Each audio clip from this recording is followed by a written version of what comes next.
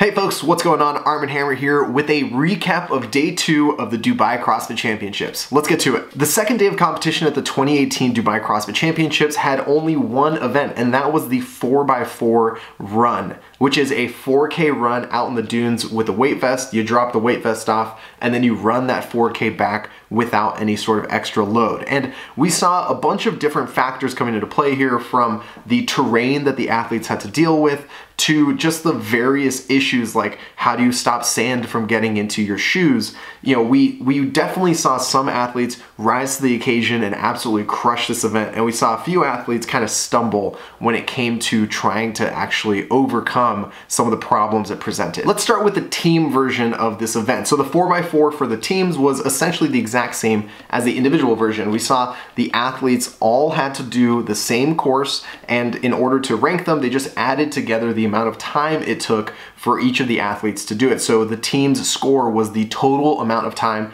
it took all four of the athletes to do the 4x4 event. And we didn't really see a big shakeup in the scores. And if anything, we saw the top three get closer together and move further away from the rest of the field. Now that top three is the exact same in the same order from yesterday, which is going to be Team Invictus in first place, and that would be the Lauren Fisher, Rasmus Andersen, Tommy Vinas, Reagan Huckabee version of Invictus. Second place is Team Sweden, which, by the way, you're in second place after two days, so I, I have to give this a shot. Here we go. Team Sweden, the four members of Team Sweden are Simon Montalia, Montila, Amanda Frandon, she has Frandon in her last name, and that's like a dead giveaway. Sarah Armanius, that's kind of like Armin, so that's cool. Alexander Ellebro. So congratulations to you four athletes. I promise I'm gonna be better at saying your names at some point because you guys are crushing it right now.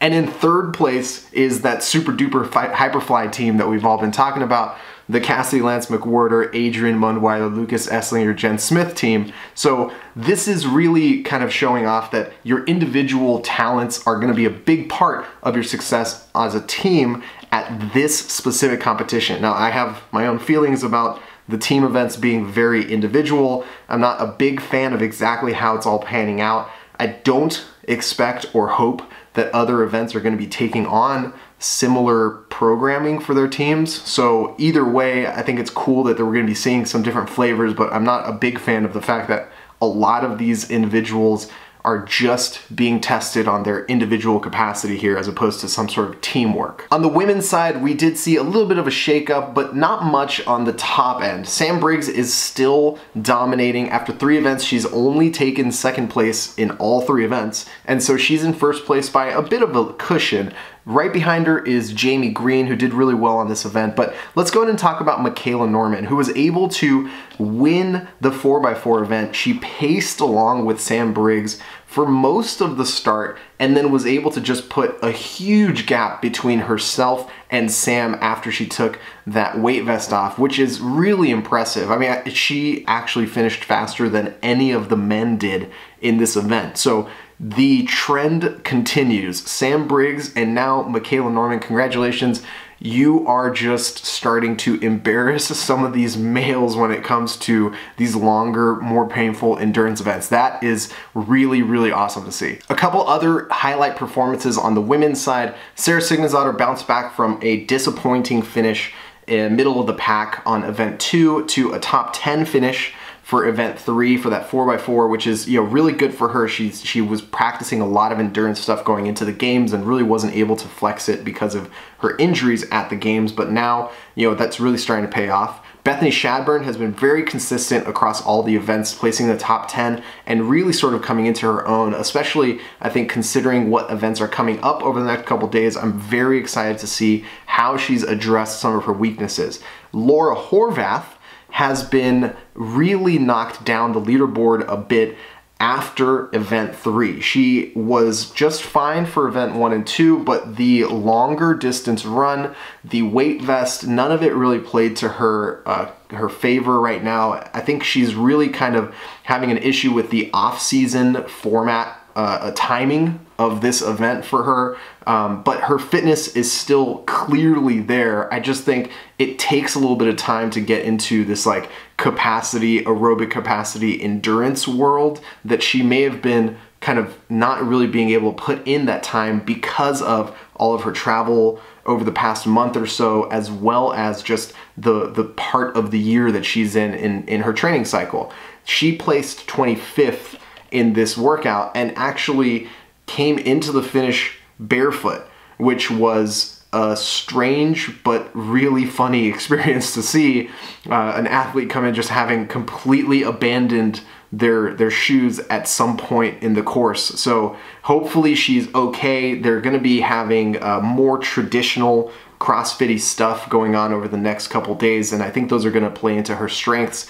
Um, I, I don't think that this is like an absolute death knell for her ability to compete for a podium spot or even win this thing, but it, it definitely puts a damper on on the parade for her because a, a, a bottom third finish in this pack is going to be really difficult to make up because of how good everyone here is and how small the field is. Where the women's division is starting to spread out over the top six or seven athletes, the men's division is doing the exact opposite. In fact, over the six athletes in the top there are only 12 points between first place and sixth place. So this is still a very, very tight race. And in first place right now is France's Willy Georges, who's been really impressive, very consistent across all three events, and really kind of putting himself into a position to capitalize on some of the events that are coming up. And remember, he won one of the events at the 2018 CrossFit Games, uh, a snatch and bar muscle up couplet. And I think that is the exact type of thing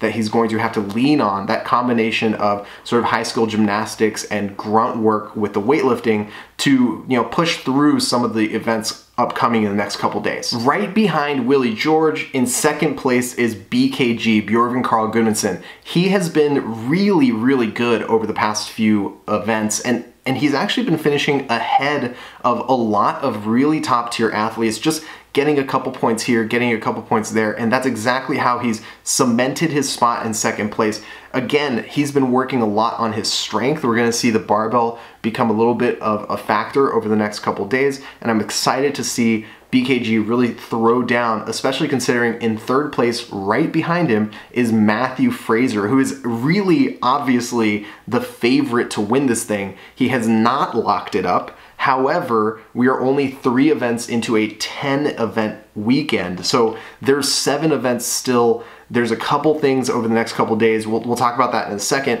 that are really going to play in his favor. So I'm, I'm interested to see just exactly where the gaming comes in for athletes like Willy Georges, BKG, or Travis Mayer, who's in fourth right behind Matt Fraser, where they can kind of make up a few points here and there over Fraser in order to keep Fraser in third or second as one of them kind of pops up and takes over that top spot. But again, there's a very tight race on the men's side between the first, second, third, fourth, fifth, and sixth place athletes. I mean, these are all men who can come in and make a shot at that podium over the next couple days. So what can we expect coming up tomorrow? So day three of the Dubai CrossFit Championship is going to be packed full of really exciting events, three of them specifically. The first event that's gonna take place is going to be a one rep max snatch event. So right off the top of my head, Laura Horvath, Matthew Fraser, they're gonna be people who are going to really sort of exceed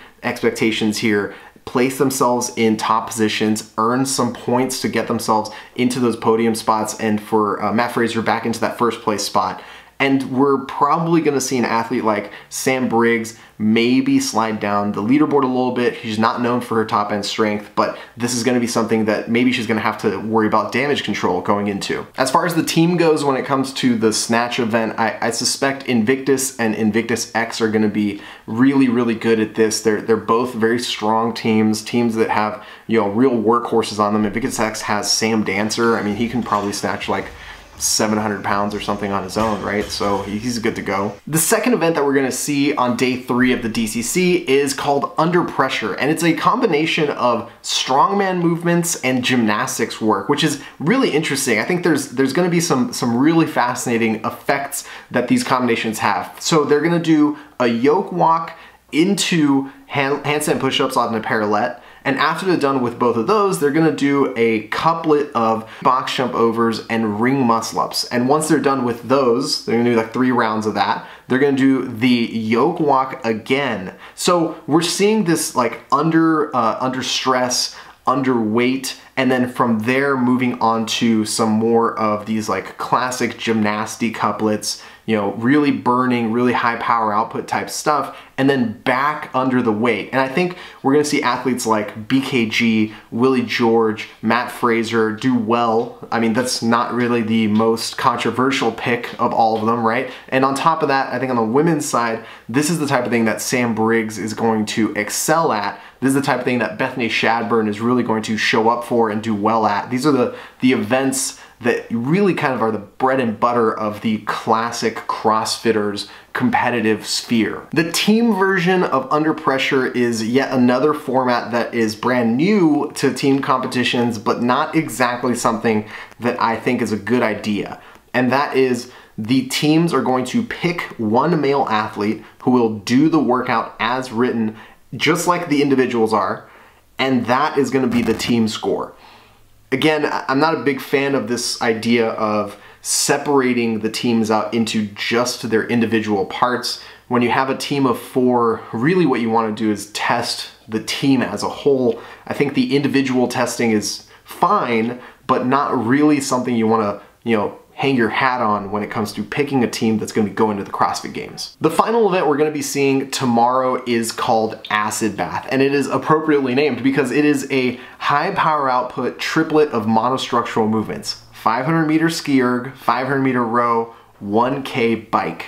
And this is a combination that is going to really put some burn onto these athletes. I mean, after the run today, after all of the snatching, after all of the carrying of the yoke, they're gonna be asked to grab onto a rower, they're gonna be asked to get onto a bike erg and really put out some major power output. And this is a type of event that, you know, if you don't go there on these specific machines, you're not necessarily gonna have the ability to find that place. And I think athletes who are well known for spending time under this sort of like the duress, I guess is a good way of describing it. Athletes like Sam Briggs, that really inspired decision making here, right?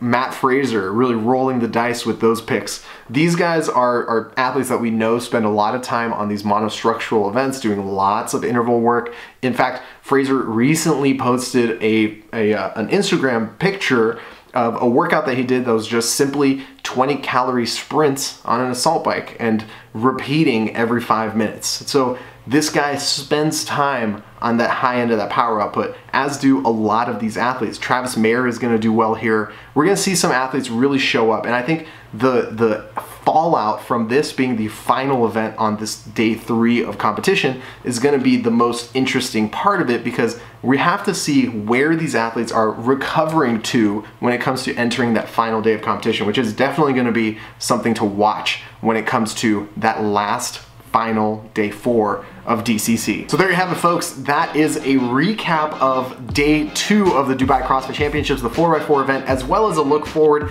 to day three with three more events. Here's what's even crazier, the last day of competition has four scored events, so we're essentially not even halfway through the Dubai CrossFit Championships and we already have a pretty exciting and tight race on every division. So I'm really pumped to see exactly what happens and remember there's a whole lot going on in our sport and it's easy to miss some of the most interesting and exciting stories and that is what I am here for. I will be back tomorrow with a recap of the first huge day of competition of the Dubai CrossFit Championships and I hope you guys enjoy it as much as I do. I'll see you guys then.